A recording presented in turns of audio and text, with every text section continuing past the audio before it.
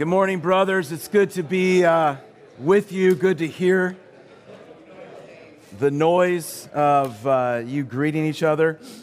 And uh, I do think, well, I do, I'm pretty sure after talking with the team yesterday, uh, we were disappointed that the wall is broken and we're going to have to figure out how to, uh, one, get it taken down, and two, uh, it's an expensive replacement. But we'll, we'll pray that the Lord provides the money for that. Um, sorry, we're being crunched this, uh, this morning, um, but uh, we'll have the full room next week, I'm pretty sure. That said, too, I know that there are some, some of you who are new to Amen, and we are grateful that you are here. And just want to say, if you have friends who aren't here, haven't signed up, um, there's still time to invite. I, you can join Amen at any point. Uh, you don't have to necessarily have been here from the very beginning. And again, we'll have, we'll have more room next week. It's funny that Lon said that about the inclement weather policy. I was asked several times yesterday afternoon. I was asked two questions. First questions I was asked, um, and these are by people that didn't that don't really know us, right? Uh, I mean, didn't know Amen Bible study. They know what happens. They said, uh, "Are you going to have Amen tomorrow?" And then the, the other question they asked me is, "Is anybody going to show up?" And my answer to both questions was exactly the same. I'm like, uh, "Yeah, you apparently don't know Amen." like we always have it, and they will show up. Uh, and you proved, you proved me right this morning. We are going to be looking this semester at what it really means to be a man and, and ultimately what it means to be God's man. And as we uh, said in the letter that we sent out to all of you and sent out to all the men in our church, that it is a confusing time right now because there really is um, this, these, these two kind of pendulum swinging sides where on one side, you have the world that truly is confused about, about gender and sexuality. Um, and, and the confusion is actually causing uh, problems with, within, their, within their own circles to sort things out. Uh, on the other side, and, I, and I, I'm sad that this has happened, there have been places within uh, the Church of the Lord Jesus Christ in this uh, country where we've gone extra biblical on what it means to be a man. And we've tried to, to put labels on, on certain things about what a man is that is really beyond Scripture and in some ways has been, uh, ended up with being abusive. Um, and what we've got to do is to navigate from Scripture what it truly, what God truly intended uh, when He created us, male and female. Um, I want to give a quick orientation before we get into the text this morning. You'll notice that you have in the first part of your notebook um, not a complete syllabus. Uh, we know, uh, hopefully, in the next couple of weeks, we'll have all those texts. Um, but as Barton and, and, I particularly have, have gone back and forth, um, we haven't finally concluded on some of those texts um, because there's several great texts that we could, we could use uh, but we want to get those to you and, and we'll get those added in a more complete syllabus. And then if you turn to this page that says beliefs and definitions, I just thought, uh, Barton and I really thought it was important as we begin this particular study to make sure you all knew the context from which we're teaching. I'm not asking, I'm not saying, when I say, you know, these are the beliefs we hold this, I'm not saying that necessarily you hold these beliefs or that you even need to. I'm not asking you to, I might want to convince you of it. I just want you to understand as we teach uh, the context from which we are teaching. So, a few of these things that I think are important. First of all, number one, that the Bible is a true, infallible Word of God, and I won't read through that whole thing, but it says in the very end the Bible is the supreme and final authority on all matters on which it speaks. God gave us His Word primarily so that we would understand who He is and that we could be saved. So it is not, the Bible doesn't speak on every subject, um, but it does give us a clear picture of how we can approach every subject. And so we want to be careful that what we're drawing from Scripture is what it says, not what we want it to say. And then we move into culture and into our lives from the, from the context of Scripture.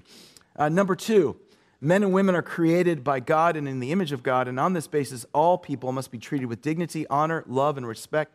At the same time, um, in their quest for independence and the centrality of self, all people, like all of us, begin their lives alienated from God and in this condition are without hope and under a judgment, a condition that can only be cured through God's loving, gracious, saving intervention.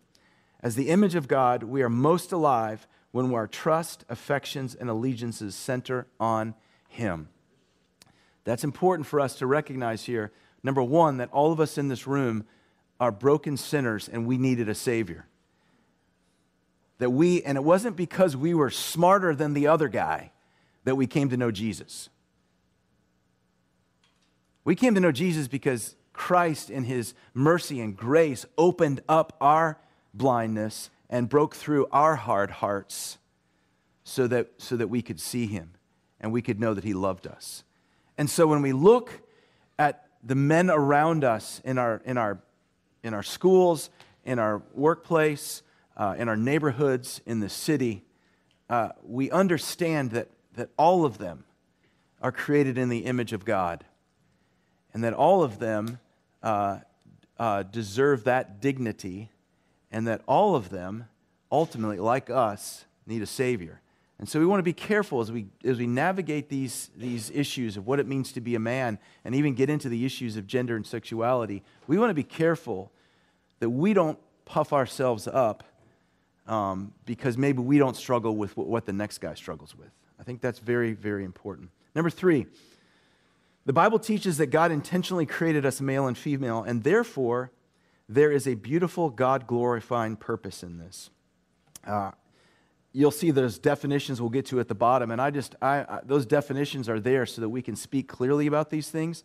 But I want you to know that we're coming from a context of teaching that we believe that God intended to create male and female, that there is a purpose in that, and that uh, as we understand that, we're going to understand God better, we're going to understand His created humanity better. Um, so that'll be not a specific lesson, that'll be something that's woven through everything that we're doing here. Number four, the Bible teaches that there are complementary roles for men and women in the church and home. I know that this is a debated topic even within the church. I just want you to know that as uh, Barton and George and myself teach, we're coming from that theological perspective. We actually think that the Bible clearly teaches that there's complementary roles for men and women in the church and the home. Um, I don't think, by the way, I don't think those things necessarily apply to the workplace.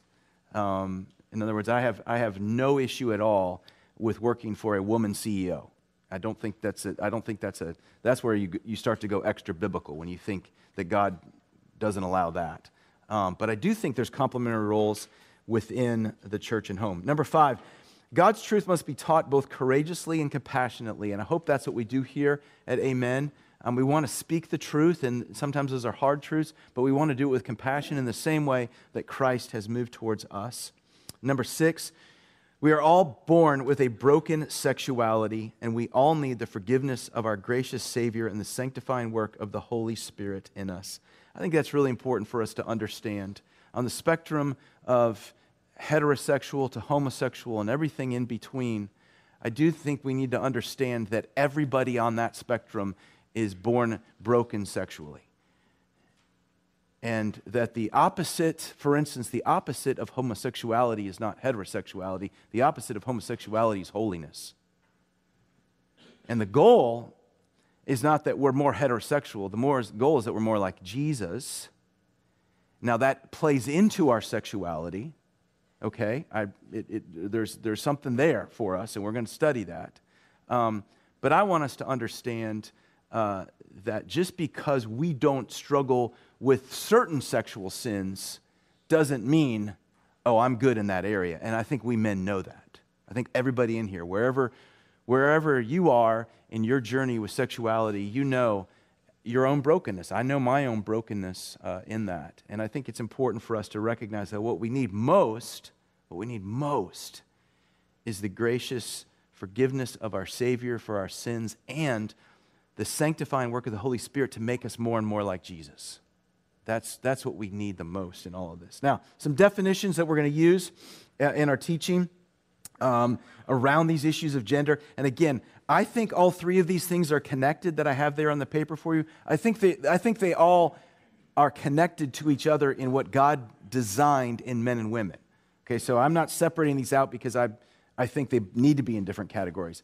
I just think in today's culture, you have to be clear with what you're talking about, or it, it, it's a confusing conversation because other people think you're talking about. So when I, when I talk about biological sex, what I'm talking about is the, that what we're designed at birth by God, most often made obvious by genitals and chromosomes. And I know there are rare example, uh, uh, exceptions to that, but overwhelmingly, overwhelmingly, it's God who has designed what we are uh, in our biological sex.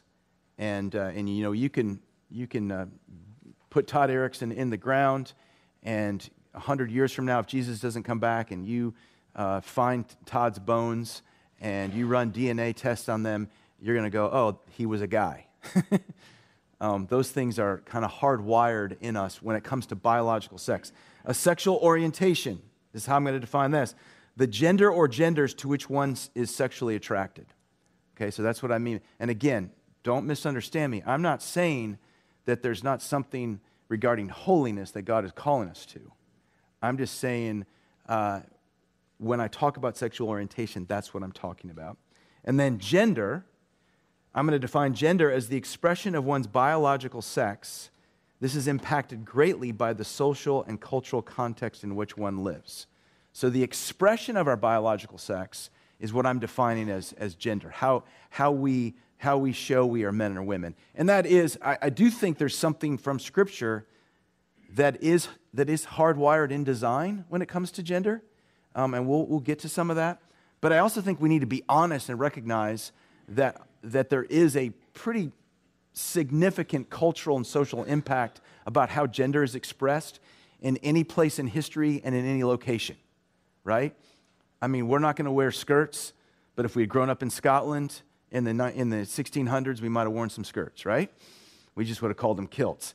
All, all I'm saying is there is an expression, but I do wonder from Scripture if there's not some things we can draw in regards to that expression that God designed in us as men. And we'll get to that. Anyways, I want you to have those definitions um, and I want you to have those beliefs so you understand uh, what we're teaching, where we're teaching from. Also, if any questions come up, um, man, just shoot me an email or Barton an email or George an email, um, todd.erickson at 2pc org, and I'd be happy to answer them. And if it needs more of a conversation, I'd love to grab a coffee with you, or grab lunch with you, or grab breakfast with you, and talk about those things.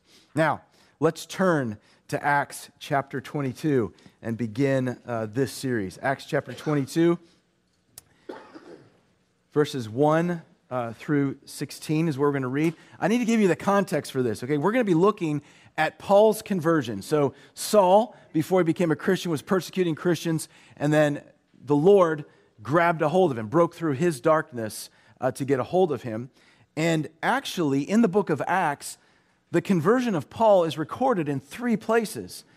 Uh, it's recorded by Luke in the, in, as, as the history. Here's, what, here's when it happened in Acts chapter 9.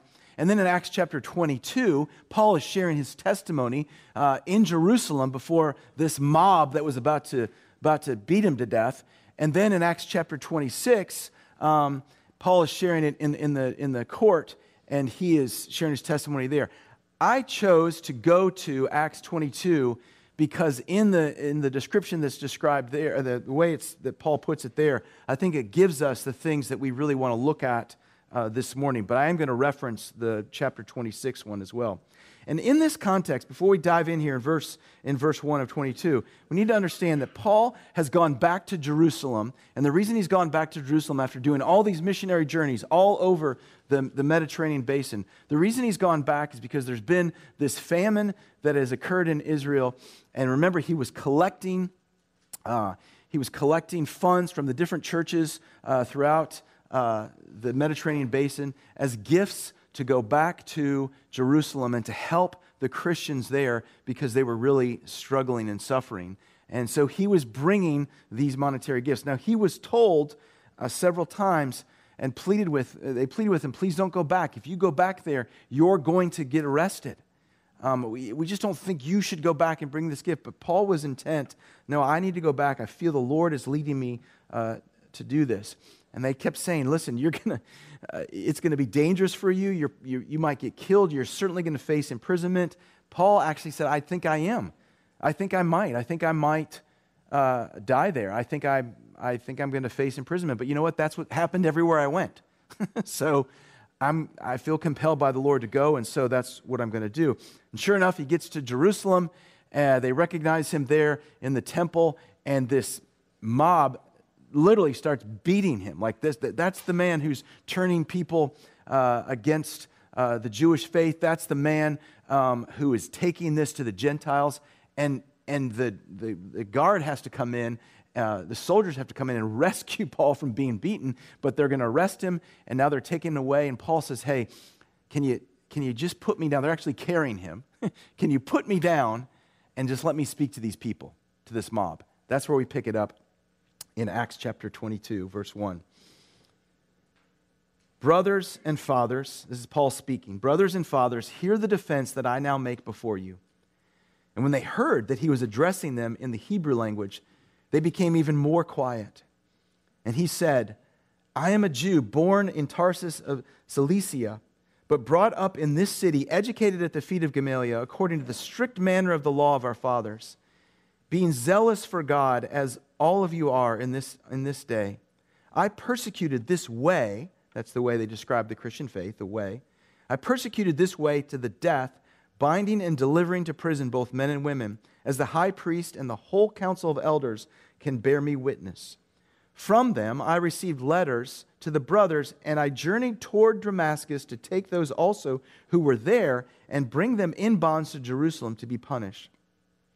As I was on my way and drew near to Damascus, about noon, a great light from heaven suddenly shone around me, and I fell to the ground, and I heard a voice saying to me, Saul, Saul, why are you persecuting me? And I answered, Who are you, Lord? And he said, I am Jesus of Nazareth, whom you are persecuting. Now, those who were with me saw the light, but they did not understand the voice of the one who was speaking to me. And I said, What shall I do, Lord? And the Lord said to me, Rise and go into Damascus, and there you will be told of all that is appointed for you to do. And since I could not see because of the brightness of the light, I was led by hand by those who were with me, and I came into Damascus. And one Ananias, a devout man according to the law, well spoken of by all the Jews who lived there, came to me and standing by me said to me, Brother Saul, receive your sight. And at that very hour I received my sight and I saw him. And he said, the God of our fathers appointed you to know his will, to see the righteous one, and to hear the voice from his mouth. For you will be a witness for him to every one of what you have seen and heard. And now, why do you wait? Rise and be baptized, and wash away your sins, calling on his name. Brothers, this is the word of the Lord. Thanks be to God. So I want us to see a couple things here as we begin this study on what does it mean to be God's man? What does it mean to be a man? And ultimately, what does it mean to be a man, at the core of it, is defined by who God is. It doesn't start with who we are. And it's interesting to note when you look at Paul's conversion, whether here or Acts 26 or Acts 9, it's interesting to note that Paul's conversion is not just a new belief system, it literally is a surrender. Paul's conversion is not just a, oh, okay, that's interesting. I'll take that under, under consideration. Yeah, I think that's right. I think I want to add that to my life. No, Paul's conversion clearly is a surrender. Because you start by looking, as you see there uh, in our notes there, you see Paul as this man of the world, and he describes himself that way. He talks about it right here, even as he's talking to these Jewish people, about how he really is self made. Like he's a guy that has, has has educated himself, has done all the right things to be that guy in the world, a man of the world. And if you turn in your Bibles, and I'd love for you to do this, to Philippians chapter 3, you hear Paul describe this in another specific way. When he's writing to the, to the Philippian church, he says in Philippians chapter 3, I'll start with verse 3 For we are the circumcision who worship by the Spirit of God, and for the glory in Christ put no confidence in the flesh. Now he's going to say, let me tell you how much confidence I could have just as a man of the world. Verse 4 Though I myself have reason for confidence in the flesh also. If anyone else thinks he has reason for confidence in the flesh, I have more. Circumcised on the eighth day of the people of Israel, of the tribe of Benjamin. That's, some, that's a serious lineage right there. A Hebrew of Hebrews. As to the law, a Pharisee. As to zeal, a persecutor of the church. As to righteousness under the law, blameless. Paul makes it clear no, I, I, did, I did this all exactly right. And I know for all of us, there is something admirable when you see a guy like that. And I know that there's a, there's a desire for a lot of us to go, yeah, I want to be that guy. I want to be that guy that made all the right decisions, that went to all the right schools, that made, that, you know, that, that made all the right moves in life, to have that kind of pedigree, uh, to be respected in this city, to be respected among my friends as someone who kind of is self made. And there's a real temptation, even for us, isn't it, as Christian men, to lean into that, to, to, to seek respect because of what we've accomplished, because of what we've pulled off. I remember, uh, I don't know if this occurred in your family, but in my family, with my grand, my, my praise the Lord, my grandfather, my great grandfather, um, they, were, they were Christians. Uh, I just think that sometimes the churches they went to didn't, didn't teach a depth. Uh, Don prayed for a depth, and I think they knew the Lord and knew He was the Savior, but there wasn't, there wasn't a lot of depth there because I, I kept hearing about verses in the Bible that actually weren't in the Bible, right? Like these sayings that they would say, well, you know, the Bible says, da da da. And I'm like, I don't, I've never read that, Grandpa, you know? Um, and one of them I used to hear a lot is, you know, Bible says God helps those who help themselves. And I'm like, yeah, that doesn't sound right. You know, like, um, and there were other was like that. But I think that comes out of that idea of, you know, to, to, to be an American man is to be a guy who has, who has been self made. Paul says, hey, I'm, I was self made. Not only that, verses 4 and 5 of chapter 22 of Acts, he was self driven. Notice what he said when he talks about it. Um, I persecuted this way, the Christian faith, I persecuted them to death. I was passionate and committed. I was so committed, I got letters from the Sanhedrin to basically go, you know, letters of extradition to, to go up to Damascus, and I was going to find other people, other Jews who were infiltrating the uh, synagogues with this false teachings about Jesus, and I was going to arrest them. I got permission from the Sanhedrin to arrest them and bring them back and put them in prison in Jerusalem. I mean, this guy was absolutely committed to what he was doing. He was driven. And isn't that something we look at sometimes and go, gosh, that guy is really driven. I wish I were as driven as that guy. You know, I wish I had, I wish, yeah, I've had some crazy ideas of what should happen in business, but man, that guy actually went, went for it. He decided he was, he was going to go after it and accomplish it. Isn't there a true a, a temptation that if I'm going to be a man, that what it means to be a man is I need to be self-made and I need to be driven. I need to have that, that drive. And I'm not saying that there's anything necessarily inherently sinful in these two things. I'm just saying this is not how the Bible defines manhood. This is not the core of what we should be. There's something much more important. So we look at that self made, self driven. I know some of us in here, um, some, of you, some, of you, some of you guys, you succeeded at that. You know, my brother, I have one brother, he's five years younger than me, and uh, he's a perfectionist, a successful perfectionist. Um, I am what they call a frustrated perfectionist. I wanted those things to work out. My brother, it worked out. I remember one time we, uh, we had to share a, a room. That was not pleasant for me, mostly because on Saturday mornings when it was time to clean up the room, Mark's side of the room was already clean because the guy from birth lived organized, right? So for him, it took him five minutes to put like two things away. My side of the room was going to take like hours, hours to fix.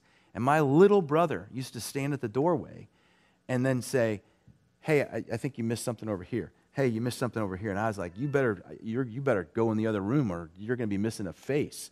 Um, he was a, he, uh, but you know, I, some of you, some of you just by personality, by, by how you grew up, man, you did succeed. Some of us in here are like Todd. You're like, yeah, I wanted to be that guy, but I'm not that guy. Well, what is the starting point for being a man of God? What is the core? core is not being self made, it's not being self driven. The core is what comes next. It's interesting to note uh, here when we talk about what it means to be a man of God um, that in Saul's conversion, there's one other thing that Christ said to him besides, I'm Jesus of Nazareth, whom you are persecuting. And this is really important for us. If you look over to just a couple pages to Acts 26, when Paul describes uh, or, sh- or, gives his testimony at that point, Acts chapter 26, and uh, let's look at, uh, start at verse 12. Paul says this In this connection, I journeyed to Damascus with the authority and the commission of the chief priests. At midday, O king, I saw on the way a light from heaven, brighter than the sun, that shone around me and those who journeyed with me. And when I had fallen to the ground, I heard a voice saying to me in Hebrew, the Hebrew language, Saul, Saul, why are you persecuting me? It is hard for you to kick against the goads. That's an interesting statement. It's hard for you to kick against the goads. We don't use that statement because most of us aren't farmers with oxen pulling a you know, plow. But if we were, in order to keep the ox in the right direction, you would have a goad, a sharp stick, which would, which would kind of poke on one side of the ox or poke on the other side of the ox to get it going and to keep pushing and pulling. Sometimes the ox, irritated with this pointy thing that was jabbing him in the backside, would, would kick at it which of course was absolutely useless. he wasn't going to get it, and probably he was going to get a little more goad if he was stopping to just kick against the goads. What is Jesus saying to Paul? Jesus saying, It's been hard for you, hasn't it, Paul, to kick against my prodding? I think what we're seeing here is not that there was this sudden moment for Paul, but that in this moment on the way to Damascus was the culmination of some prodding that God had been doing along the way in, in Paul's life. And probably in your own conversion, you'd be able to say, Yeah, I, I know that. What were, what, were, what were Paul's, what were God's goads for Paul? One of them is interesting to think about. Paul was, Paul was almost, it, it looks like he was almost exactly the same age as, of Jesus Christ. And Paul grew up in Jerusalem and was in the court of the Pharisees. It, it, it's highly, highly probable that Paul heard firsthand Jesus teach. It's highly probable uh, that, that Paul at least knew of Jesus and the teachings of Jesus, again, if not actually having seen him face to face. And I wonder if there was some internal doubt in this man's mind about whether or not Jesus of Nazareth really was the Son of God. Not only that, you remember when you read earlier in Acts at the stoning of Stephen, the first martyr, that the men who threw the stones laid their coats at the feet of a man named Saul. Saul was there. So Saul would have heard Stephen say in that moment as he's being put to death, I see the Christ high and lifted up. And then hear Stephen say, Please forgive them for what they're doing. I just wonder if one of the goads for Paul was this internal intellectual doubt about maybe, maybe I'm not right. Maybe this Christ thing is for real. I think I, I wonder if another goad for Paul was this tension he must have had between tradition, the Old Testament, and traditionalism, all the things that came along with the Jewish faith. And so there was tradition, which was the Word of God coming from what we now hold as the Old Testament. But remember, the Pharisees decided to add a whole lot of traditionalism to that. So they had all these patterns and rules that they said this is what reflects what's in Scripture. And I wonder if there was a, there was a wrestling there for Paul that was, a, that was a goad for him. I wonder what the goads were that drove you to Christ or that are driving you to Christ. Um, I know even in our culture in the South, sometimes I think tradition and traditionalism can get confused. And that's where I think we've messed up sometimes in our church we've gotten extra biblical. Because we've decided that this expression is the only way these scriptures can be lived out. And I just think we need to look again. It may be true. It may be true. But I think we need to, we need to go from traditionalism and look at Scripture and say what it has and see what it has to say. Uh, the goads, Paul, Paul, Christ was, was working on him. And finally, it led to this surrender. And in this surrender, I want us to see quickly, in the time that we have left, these three things. First of all, in Paul's surrender, it led in him to some new questions. And I love these two questions in Acts chapter 2. Two questions. Verse 8, first, who are you, Lord? Verse 10, what shall I do, Lord? Who are you, Lord? You got to know, and, I'm, and, and these two questions, I'm telling you, these two questions are questions, brothers, that should frame our lives as men. I think the starting point for even knowing what it means to be a man, and I don't just mean be a man of God, I mean be a man because God created us male and female. And in order for us to understand what God intended in his created humanity, in order for us to understand why did he create us male and female, it starts with us surrendering our own ideas about what it means in culture uh, to, to be a man and surrendering all of our own ideas of what it means to, to have identity and to have purpose, to surrender it to the Savior and to start with these two questions and to have these two questions always frame who we are. And the first one is, Who are you, Lord? Knowing Christ. I love what Don's prayer. Some of you men have been in here for over two decades. And you know what the reason you're here is what Don prayed. We never in this life, we never stop learning and seeing who Christ is. We could spend a hundred years on this planet and we will, we will never exhaust who Christ is. And so to, to be a man, we have got to know who Christ is. That's why I commend all of you who are here, whether you're, whether you're in your, your teens or you're in your 90s because we need to be here every morning because the starting point of what it means to be a man begins with who Christ is. Who are you, Lord? And then the second question, and what shall I do, Lord? what do you want me to do? Not what do I want to do? You know, we, uh, even as Christian men, we, we have a tendency to to kind of do this when it comes to what are we going to do with our lives. To think, gosh, I, I really like this. I want to do this. I want to study here. I want to work in this business. I got a business plan. I've worked out here. Um, I'm going to be a teacher. Uh, you know, I'm going to go into nonprofit. I'm, a, you know, and man, and I'm. These are all coming from my desire to serve Christ. And so we map out this plan and we write it out and we, we take it to the Lord and we're like, Lord, here's the plan here's, here's what I really want to do with my life or my business or my teaching or, you know, in, and here's, this is, this is my plan. If, if Lord, if you could just, uh, if you could just sign down right here and uh, bless this plan, please bless my plan. And here's what I think the Lord does to us when we're, when we're listening. He's like, yeah, okay, that's, that's great, Todd. Uh, listen, I got a paper for you. If you could, Todd, just go ahead and sign down here. And you're like, yeah, but, uh, but Lord, it's blank. Uh, what, yeah, yeah, just, just go ahead and sign, Todd. yeah, but Lord, you haven't, I, I need to know what, no, no, you just go ahead and, and sign. And you're like, yeah, but Lord, this plan looks very Christian, doesn't it? You know, like, Lord says, Todd, just sign. Sign right here. That's what's happening here. Literally, Literally, Paul is giving up everything. He's giving up everything. Who are you, Lord? And what shall I do, Lord? New questions.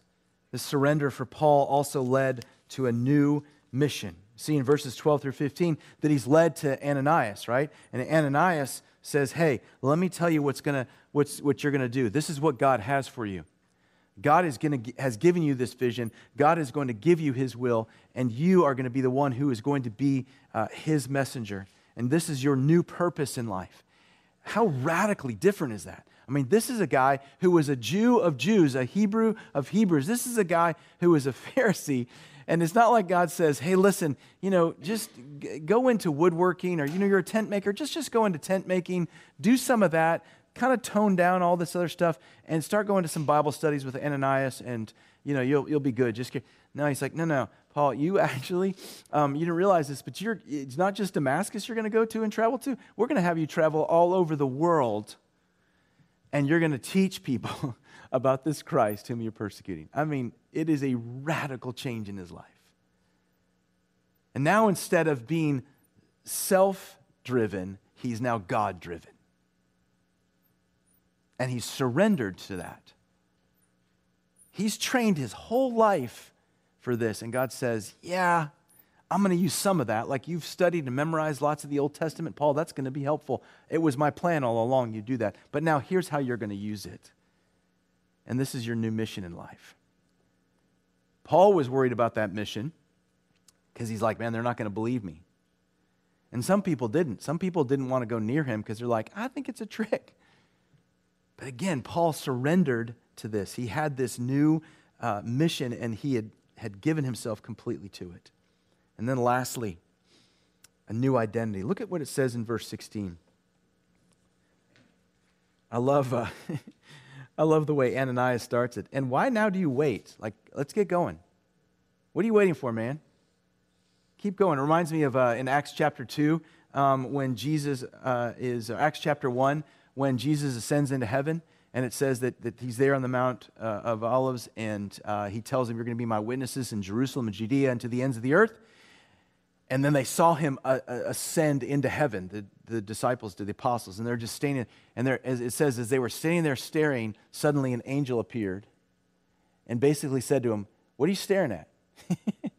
he gave you a mission. Don't hang out here, go do it. Ananias says to him, Hey, why are you waiting? And then he says, verse 16 of Acts chapter 22 Rise and be baptized and wash away your sins, calling on his name. This is a bigger deal than you think because this really was an issue of identity.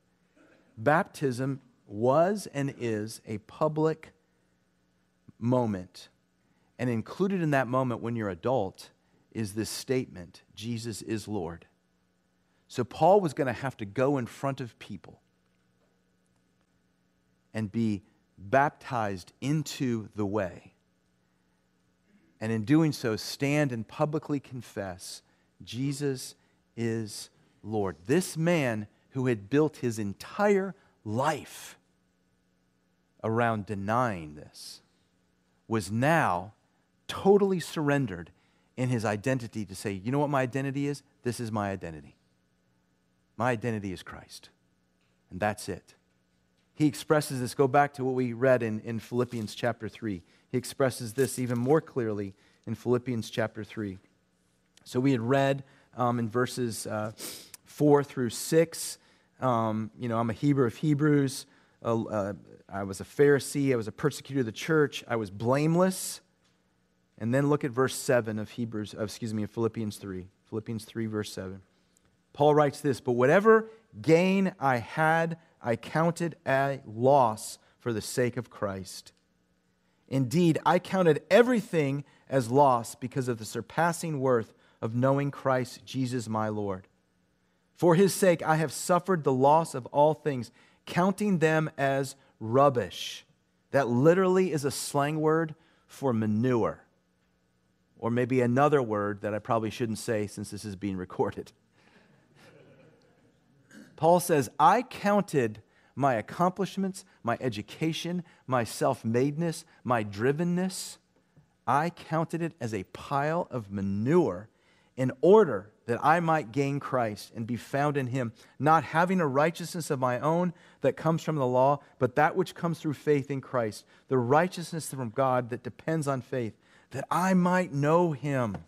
Who are you, Lord? That I might know him and the power of his resurrection, and may share in his sufferings, becoming like him in his death. What shall I do, Lord? Becoming like him in his death, that by any means possible I may attain the resurrection from the dead. He says, Listen, that's who I was. That was my identity. I had built it and I had worked hard at it. But I counted that as a pile of manure compared to knowing Christ. And everything in my life is going to be defined by that. He writes in another place I am crucified with Christ, and I no longer live, but Christ lives in me. And the life I now live, I live by faith in the one who gave himself for me. Brothers, the starting point of what we need to be as men is that. I am thankful for those of you in here who have great jobs. I'm thankful that you have that. I'm thankful for the way the Lord has provided for all of us. I am thankful for, for the families He's given us. I'm thankful for the things that He's allowed you to accomplish. But all of that is a pile of rubbish compared to knowing Jesus. And if we're going to be men as God created in this culture, that's where it's got to start. That's where it's got to start. A friend of mine who used to say, I am a disciple of Christ, cleverly disguised as a physical therapist. and I would say to you, even as a pastor, I'm a disciple of Christ, cleverly disguised, or maybe not so cleverly disguised, as a pastor. Whatever you are, the core of your identity, and I, you know, I'm gonna just, let's just talk about our broken sexuality. Um, actual, real statistics that you can believe, not the puffed up ones that I think are, are, are culturally driven and are not accurate, and, and honestly, not ones that are coming just whimsically off of Google. But the actual scientific uh, uh, uh, facts around this is that in a room like this, um, it, is, it is normal that 7% of us would have, at some point in our lives, had some homosexual thoughts or struggled with, with homosexuality, same sex attraction. And 1% would be exclusively same sex attracted. And that's just, that's just a reality. There's some great men uh, in, in, our church who struggle uh, with same sex attraction and yet walk in absolute obedience to Jesus uh, in the purity of their lives. And they're my heroes.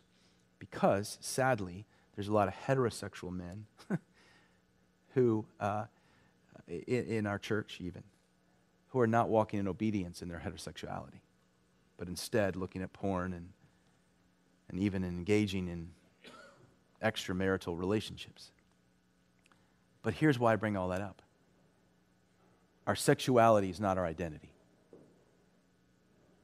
our identity is Jesus. Ultimately, our gender is not our identity. Our identity is Jesus. We, we learn who we are, and we learn how we should conduct ourselves we learn who we were created to be as men. We're redeemed as men when we begin with an absolute surrender and say, I am a child of the King. I am a disciple of Christ, cleverly disguised as however you want to put it. Brothers, as we begin this series, I would ask you to ponder this question in your lives this week. Have you surrendered everything to Christ? Have you surrendered everything to Christ? You're not holding anything back. Is your life framed by those new questions? Who are you, Lord? What shall I do, Lord? Is that what frames your days and your weeks? If we're going to reclaim true manhood, it's going to start with surrender. But man, when you surrender, you get to go on a journey that'll blow your mind. Because the grace and the love and the forgiveness and the redemption of Jesus is magnificent. And when Paul said, I count all this as rubbish, compared to the surpassing greatness of knowing Jesus, my Lord. He wasn't trying to tough it out. He was literally saying, No, that's a pile of garbage compared to this. This is awesome. This is awesome. This is so awesome, I don't even like that anymore. that's what's in store for us. Let's pray. Heavenly Father, thank you for your word. Thank you for these men who encourage my heart so much, Lord, on this uh, inclement weather day um, with schools closed, that these men would be here to sit under your word, Lord, humbles me and reminds me that I too must sit under your word. Father, we are here with a desire to surrender everything to you, but it is our inclination, Father. It is, it is our struggle to hold on to things and to not surrender. And Father, each of us, each of us in this room have certain things that, that we know we have not turned over to you. Oh, Father, give us the grace to surrender everything. Lord, in this culture, we know that men and women, even in our own homes, are desperate to see what it is you designed when you designed us male and female, what it is when you designed and gave us the image of God. And Father, though we are broken and sinful, you are the Redeemer who brings that great restoration. And so we pray that you would do that through us, even as we study your word this semester. Lord, that you might be glorified in our lives, that we might be filled with joy, that we might be filled with purpose, that we might be filled with, with courage, with compassion. Lord, that we might reflect exactly what it is you want us to be as your dearly loved sons. Pray this in Jesus' name, and all God's men said, Amen. Amen.